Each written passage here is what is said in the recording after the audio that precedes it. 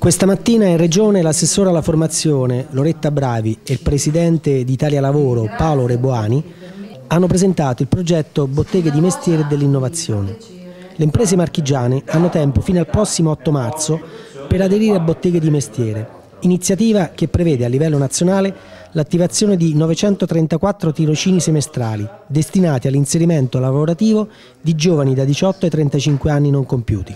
I tirocinanti riceveranno una borsa mensile di 500 euro lordi, erogata da Italia Lavoro, ma soprattutto avranno l'opportunità di specializzarsi nei principali comparti del Made in Italy. L'obiettivo di questa iniziativa è quella di un ricambio generazionale, di riavvicinare le persone, non solo i giovani, ma anche diciamo over 20, over 30, ai vecchi mestieri, perché noi siamo una regione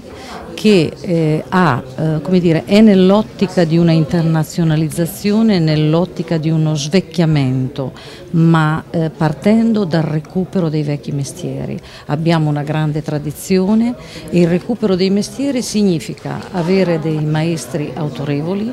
essere formati secondo quello che è il DNA delle piccole e medie industrie. Pensiamo al manifatturiero e da qui a cadere tutte le altre, tutte le altre energie delle, della nostra regione. I fondi sono nazionali e gestiti da Italia Lavoro. Il finanziamento è dato da 24 milioni a livello nazionale, gli obiettivi è quello di recuperare le produzioni caratteristiche del Made in Italy inserendo giovani in realtà produttive importanti come quelle anche delle marche molto individuale soprattutto da parte dei giovani ma che invece